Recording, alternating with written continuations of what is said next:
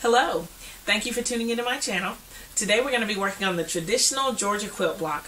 So if you want to know how to make a block like this, please stay tuned.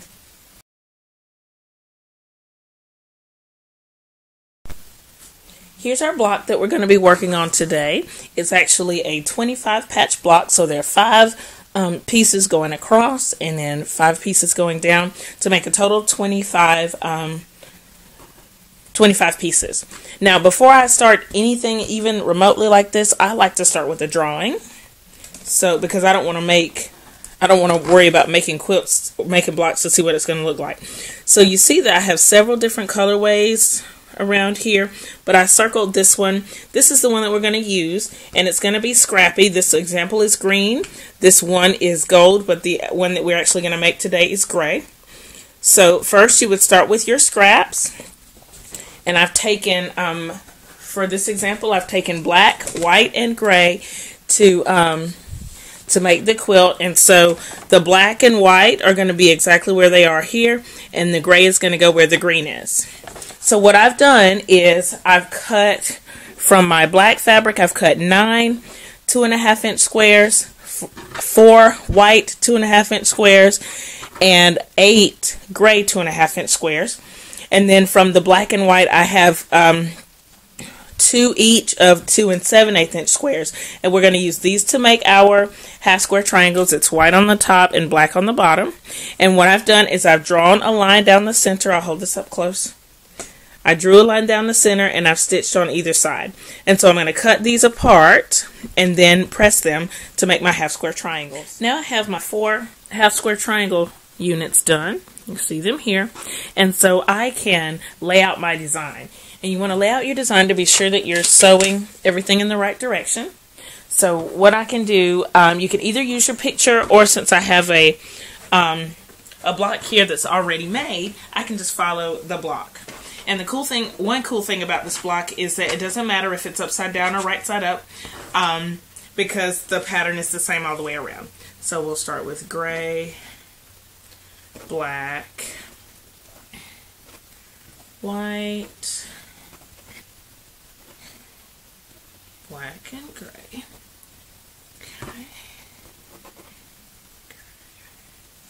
And then for the um, the half square triangle units, you want to make sure that your black is facing out. So like that. You want to have black to black. And then here and so on. And I'm going to finish laying this out and then I'll get ready to sew. Everything is laid out and now it's time to sew. What I'm going to do is I'm going to pull one side over at a time. So I'll pull all of these over like this. Then I'm going to chain piece these and then without cutting any threads I'm going to add the next one. So I'll chain piece all of these first two rows, then add the next two rows and so on until I get finished. So I want to show you how I um, how I piece these together in rows by doing chain piecing. So what I'm going to do is I have these, this is the first row that I've done, and I'm just going to open this kind of like a book. So open the left side so that the black is showing. And so this will be, my next piece will go on top of this piece. Alright, so right sides together. Of course I'm doing a quarter inch seam. That's our standard quilting seam allowance. Okay, and I am using a um, a leader that is basically another project that I'm doing at the same time. So all my leaders and enders will be projects that I'm working on right now. Okay, and then for the next piece, open it up left left side up like a book. Then put the next piece right sides together on the right page, so to speak. And then I'm going to continue this process up till I finish up all five rows. Rows look like this now. You see that they've been um, chain pieced. You see the extra thread. So I'm going to cut them apart and press. And I'm going to press um, each row so that they go a different way. So probably the top row is going to the left, all the seam allowances, and then right, left, right, left, and so on. Almost done. So the next step is going to be to sew these rows together. And what I'm going to do is fold the bottoms. I'll start with the bottom, fold it over and you can see that the seams will nest because the these seams are going to the left and the other seams are going to the right so they'll make a nice nest and then I'll do um, I'll do that for all of the rows and give it a nice press. Then we'll see what it looks like. Here is our finished Georgia quilt block. This one is super scrappy. You can see that um, I just dug from my scraps to create this. You can turn it any old way and it's the same block. I want to put it next to the one that we did earlier. And you can see that once you put these together, they're going to create a cool secondary pattern that's some rings. And so I'm really excited to put uh, blocks all around these because the whole quilt will have little black rings going all around it.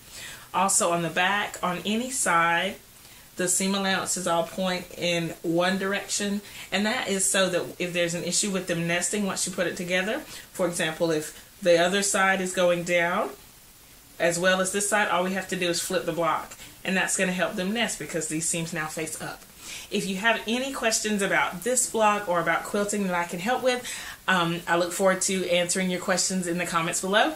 So uh, please rate, comment, and subscribe, and I'll see you next time. Bye!